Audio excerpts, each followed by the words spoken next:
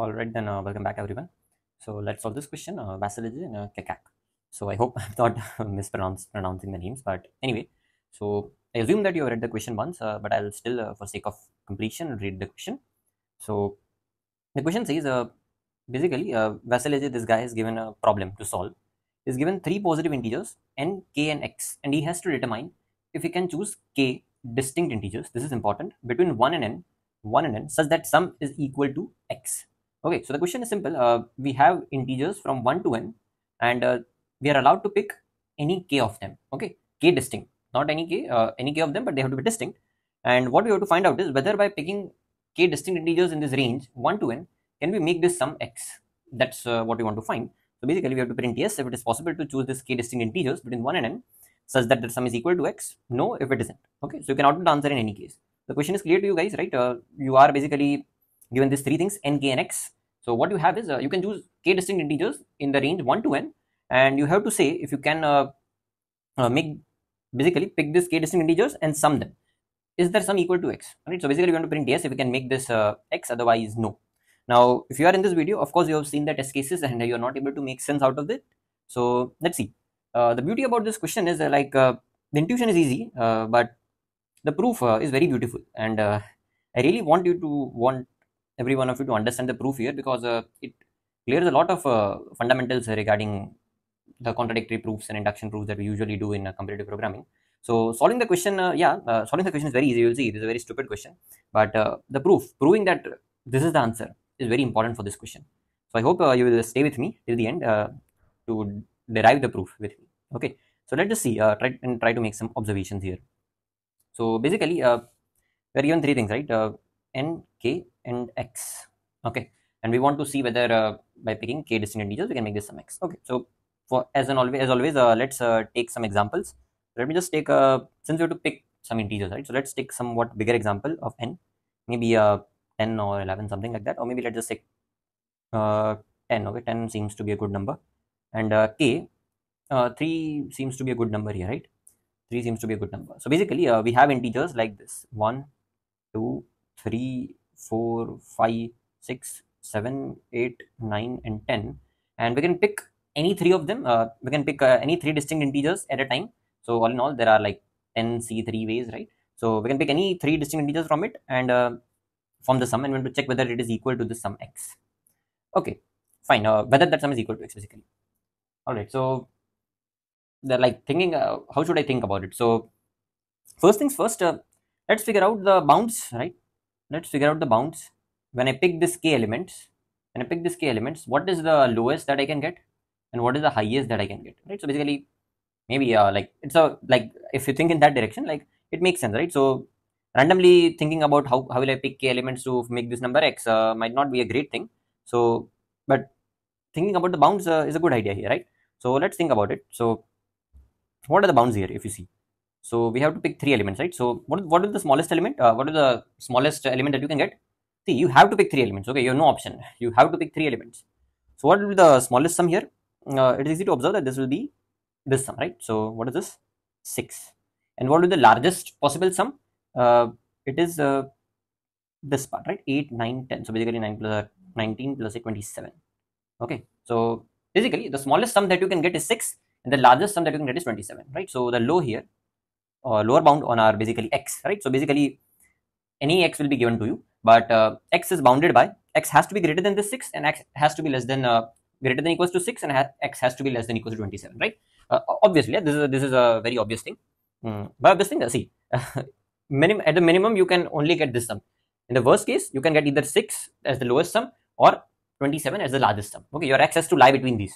So what I'm saying is, if x is less than low. So if, if x is less than 6 uh, or x is greater than high, x is greater than high. Okay, so this is what I'm saying. x is less than low or greater than high. It is out of bounds. x has to lie in this range, right? So x has to lie in this range of 6 to 27 or should I say low and high. Low and high. So if x is less than low or x is greater than high, uh, then uh, no, it is not possible. Now, fine. So if it is out of bounds, so less than 6 sum is not possible, greater than 27 sum is not possible. What about the range uh, 6 to 27? Can you get all the sum between 6 to 27 is my question to you, like, right? So can I write something like this? If x is in the range low to high, can I always get the sum? Can I always get the sum? Can I write something like this? Is the question that I want to ask, right? So let's see uh, how can we go about it. Okay, so I've taken an example here. So the same example, we know the smallest possible sum that you can get is 6 and highest possible sum that you can get is 27. I want to see uh, whether I can get all the possible values between 6 and 27. Okay, so here you have 6, right? So can you get 7 now? See, you just want one more, right? So instead of this 3, just pick 4. So 1, 2, and then 4. So yes, you can get 7. Fine. Okay, so we figured out that we can get 7. Now can I get 8? See, this is how you got 7, right? This is how you got 7. So instead of this 4, just pick 5. You can get 8. Can you get 9? Can you get 9? Yes. Instead of 5, just pick 6. Can you get 10? Yes, you can get 10. Similarly, you can get 11. Similarly, you can get 12. Similarly, you can get 13. Right? So 7 to 13 you can get. Fine. Now, can you get 14 is my question. Can you get 14? Is my real question to you. Can you get 14? You just want one more, right? You just want one more. So can you find an element? Uh, can you find an element uh, such that uh, that element is there, but that element plus one is not there? So basically, two is here, but two plus one, three is not part of it, right? So yeah, it is there. So I'll just remove this two and just include this three. Fine. So don't worry. Uh, keep going. You understand what I'm trying to do here. So 14 you can get. Fine. Now you got 14. Can you get 15? Of course. Instead of this three, pick four. You can get 15. Can you get uh, 16 now? can you get 16? So, okay, you can get 15 here, right? So 15 is there. Okay. So 1, 4, and 10. Can you get 16 now? Instead of this 4, pick 5. Instead this 4, pick 5. Right? So 16 is possible. Similarly, uh, 17 is possible. Right? 17 is possible. 18 is possible. 19 is possible. Right? 20 is possible. So 14 to 20 is possible. Right? 14 to 20 is possible. 14 to 20 is possible. Fine. Now is 21 possible? So right now you see uh, what you want is if you want to make the 21 is possible, what you need to find out is you need to find out some integer here, uh, some number here, such that uh, just one number greater than it is not present in your current set of k elements, right? So what you can do is you can remove that guy and pick the, the just one greater than it, right? So basically, see, guys, what I'm saying is, uh, right now you are at some 20, right? 1 plus 9 plus 10, 20. You want to make some 21. So what do you need? You need the sum to be uh, incremented by just one, right? So you need to find a element here uh, in your set of k element such that uh, that element plus one is right now not present inside the set. So you can just replace it with that guy and now you get the desired sum, right? Just one plus. So I'll just remove this one and now you get this two, right? So basically now 21 is present. Now you got 21 is present. Fine. So, so 21 is present now. Uh, can you get 22? Of course. Remove this 2, get this 3.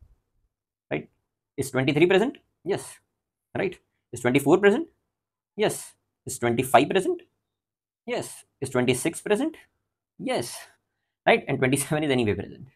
27 is anyway present. Right? So 21 to 27, 26 is also there. 6 and 27 anyway was possible. Right? So what just happened here? what just happened here? What did you saw?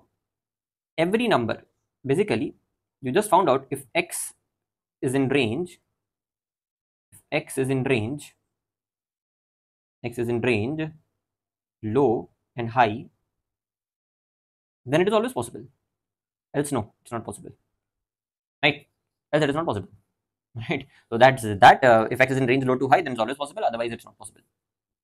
Fine. So we just uh, saw intuitive understanding of how it worked. Uh, so right. So let's just uh, quickly see the solution for it because in the contest, that's what you need to do. Like uh, you got the intuitive understanding of it. Okay, it works. You found out that if x is in this range, yes. Else no. I took a bigger example deliberately to make you guys understand.